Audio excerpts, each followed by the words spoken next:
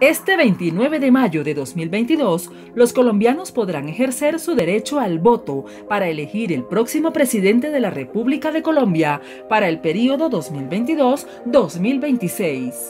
Entre las 8 de la mañana y las 4 de la tarde de este domingo, más de 38 millones de colombianos están habilitados para votar.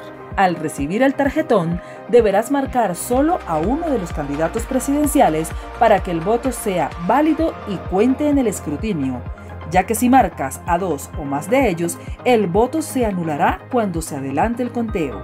Posteriormente, debes depositar el tarjetón en la urna que estará dispuesta para estas consultas. Para los colombianos residentes en el exterior, desde el pasado 23 de mayo están abiertas las urnas para quienes tengan inscrita su cédula en el consulado más cercano.